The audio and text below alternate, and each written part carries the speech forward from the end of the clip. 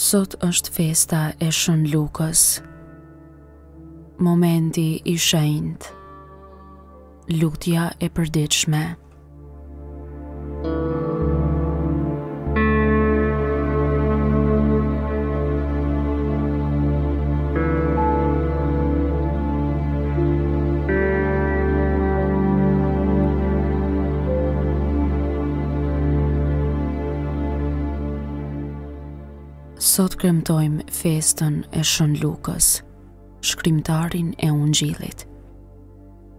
Në pasazhin e ungjillit të ditës së sotme, ndjejmë një sens të fortë misioni. Unë jam një nga 72 burrat të cilët u dërguan për të përgatitur udhën e Zotit. Duhet të dëshmoj për Jezu Krishtin dhe mesazhin e tij.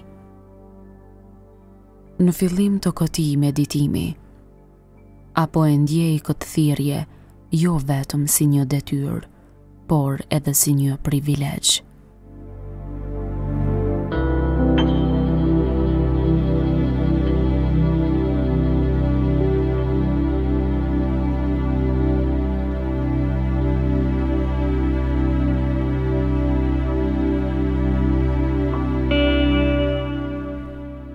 Ia kujtoj vetes se Gjatë kohës që jam duke ndenjur këtu, në këtë moment, Hyji është duke më vështruar me dashamirësi dhe dashuri, duke më lejuar që të ekzistoj. Ndalem një moment dhe mendoj për këtë.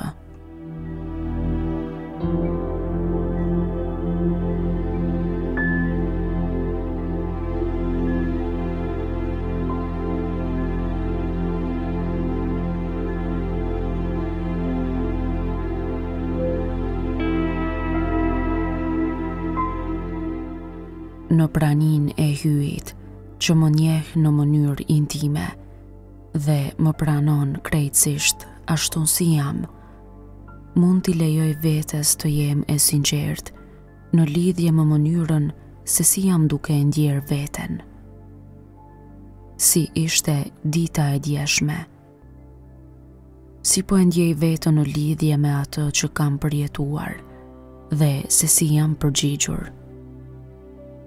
I ndaj ndjenjat e mia haptazi me Zotin.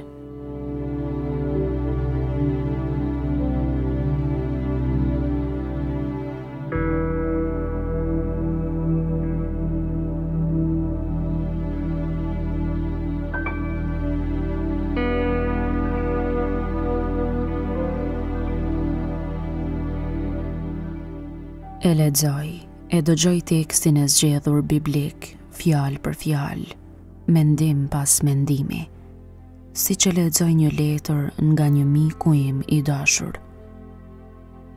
Lejoj që fjala e Zotit të gjejë jehonë brenda meje.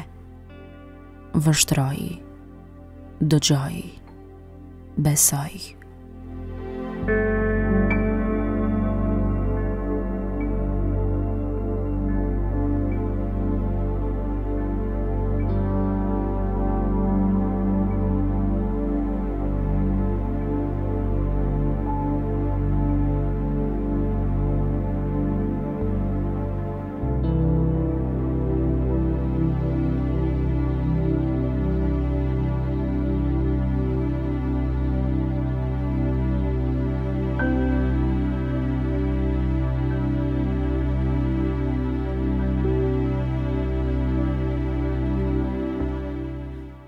Nga letra e dytë e Shën Palit Apostull drejtuar Timoteut, kapitulli i katërt, rreshtat 10 deri 17 b.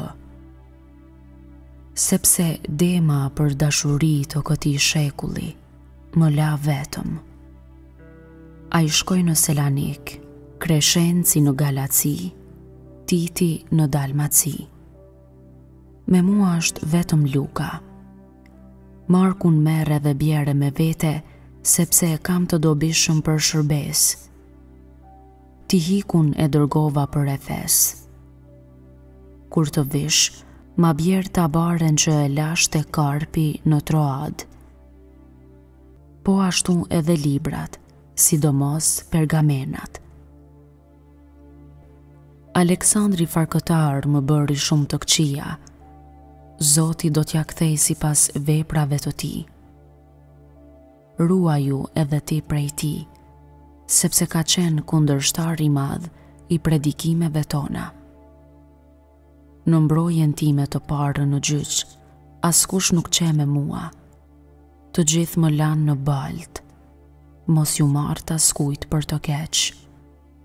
Por Zoti qe me mua. Ai më dha fuqi që predikimi i Ungjillit të kumtohej plotësisht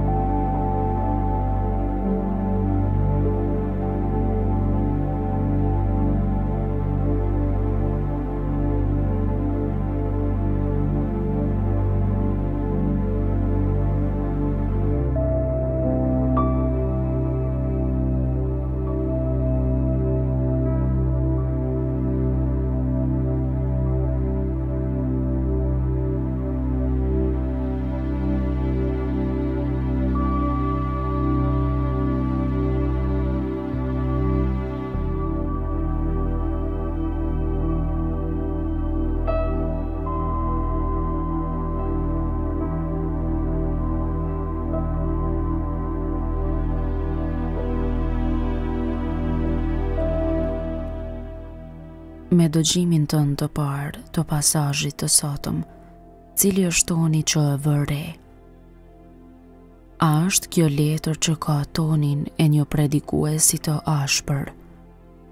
Apo ndoshta më shumë të jep përshtypjen e një shkrimtari të prekshëm, duke u mbështetur vetëm në sigurimin e Zotit?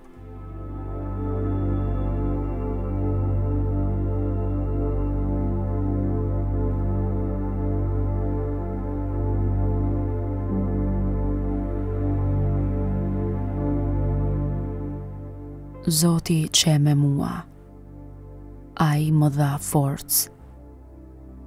A mund të kujtohet ndonjë kohë kur e ke thënë një lutje të ngjashme?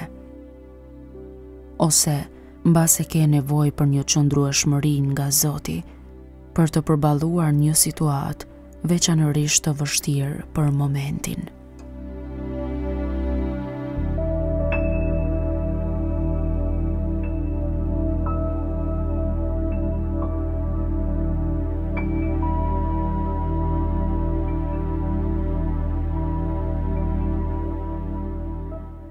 kur ta dëgjosh fragmentin biblik përsëri.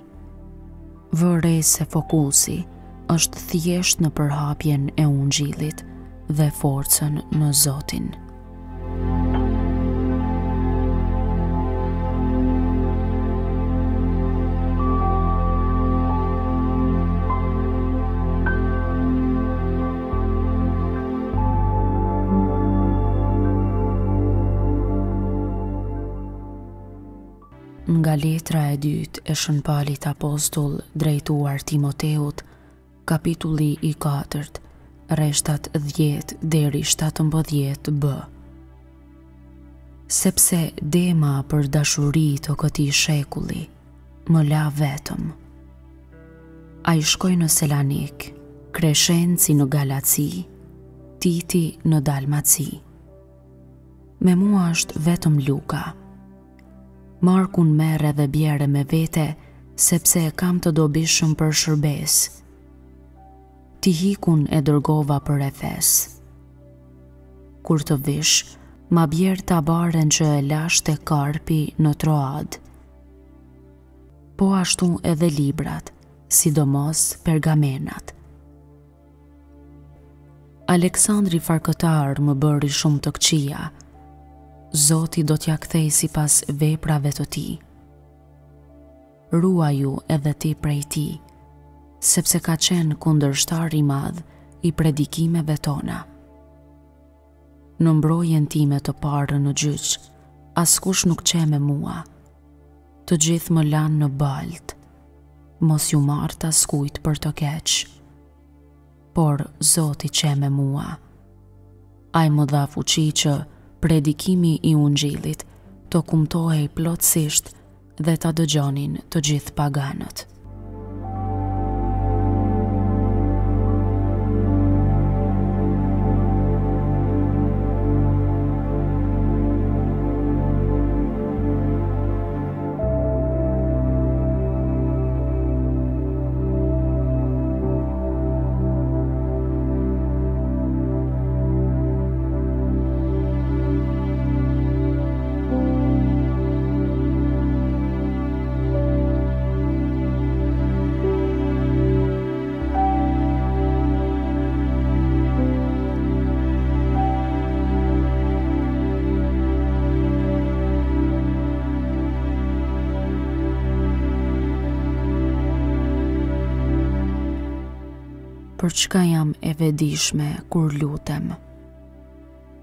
Apo e shoh se ku jam e thirrur të rritem në dashuri.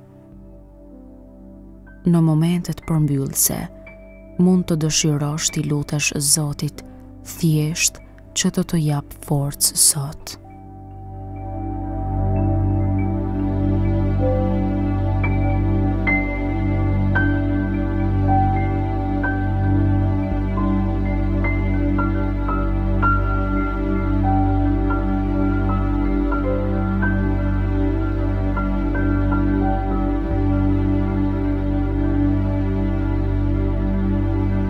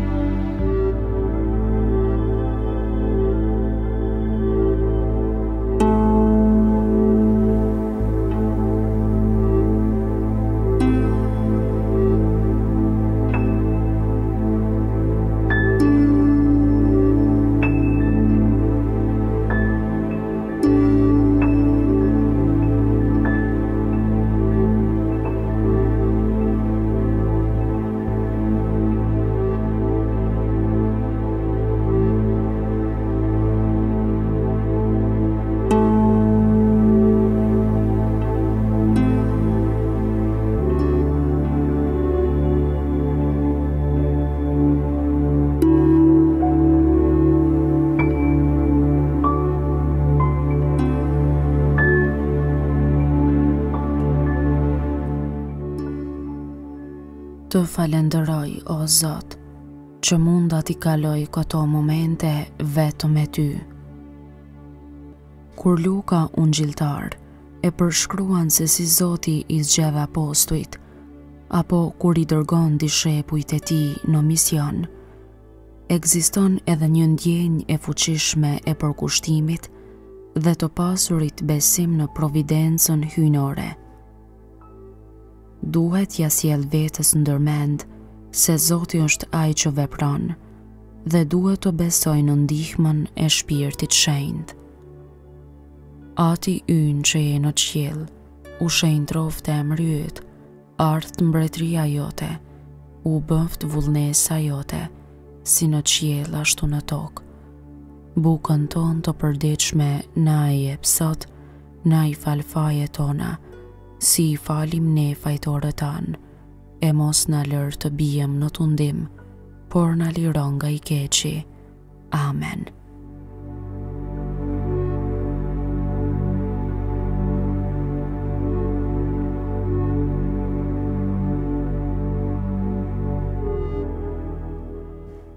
Lavdi Atit e Birit e Shpirtit Shenjtë.